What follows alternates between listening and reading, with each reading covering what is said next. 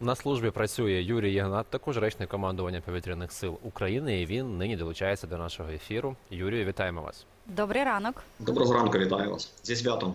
Дуже гарний одяг у вас, до речі.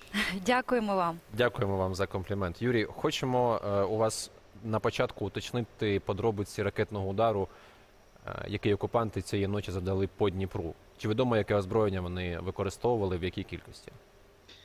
Ну, е, використано небагато було озброєння. Е, Атакували з Криму, з Ростовської області, а також з району Токмак. Власне, Токмак це ракети С-300, зазвичай звідти ворог е, завдає ударів по цьому регіону зенітними керованими ракетами по землі.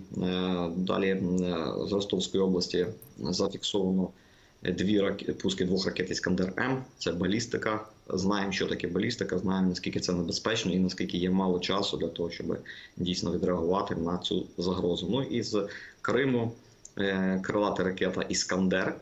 Вже Іскандер це крилата ракета з маркуванням К, яку збили наші сили оборони е, у е, власне у зоні відповідальності повітряного командування Схід.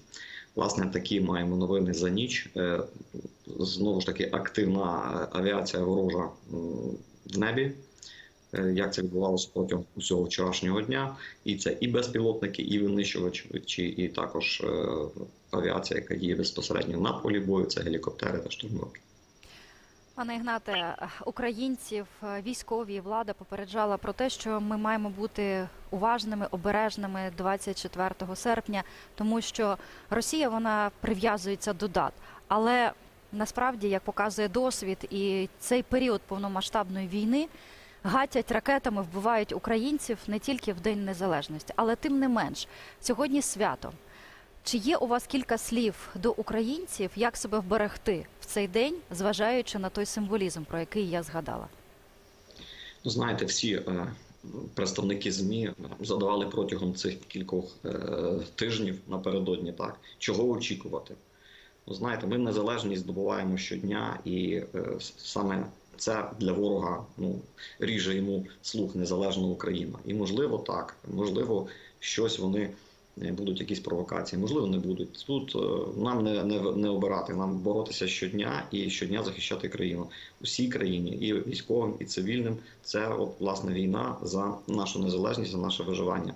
А щодо ворожих атак, це е, кожний день для нас е, для, є небезпечним. Є небезпека, яка чатує, нікуди не діваються кораблі з е, Чорного моря, нікуди не діваються літаки стратегічної авіації чи ті ж самі безпілотники. Потрібно ворогу небагато часу, щоб підготувати той самий удар. Так вони їх планують заздалегідь, але все ж таки. Тому е, все, що потрібно людям знати, і все, що потрібно людям робити, це не бути байдужими і дотримуватись того, чого завжди просять військові і представники військових адміністрацій. Це берегти своє життя, піклуватися про тих, хто вас оточує, тому що е, ворог підступний, ви бачите, завдає ударів е, часто по цивільних е, об'єктах, куди здавалося нема жодної логіки бити високоточними ракетами руйнівними, але вони це роблять. Тому берегтись ще раз берегтись потрібно і сьогодні, і в будь-який інший день.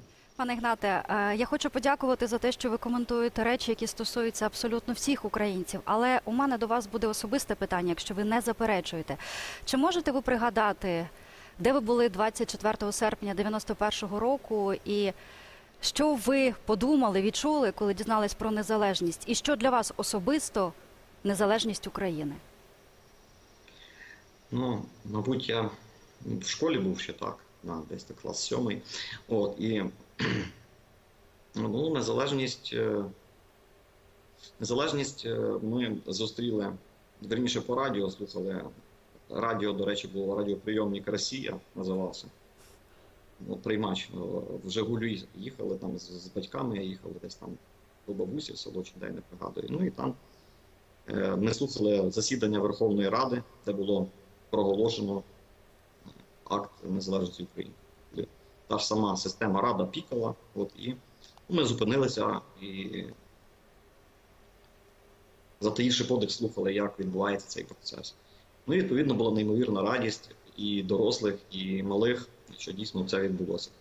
Ну і вже потім було встановлено е, це свято День Незалежності України, яке ми одне з найвизначніших свят не лише для України. От в Сполучених Штатах це теж свято, яке набуває особливого змісту в серці кожної людини.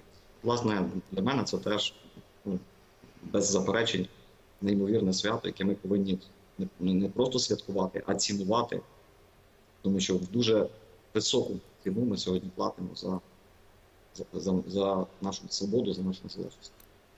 Ми постійно з Богданом тут нагадуємо, що наша незалежність вона неможлива без наших героїчних воїнів.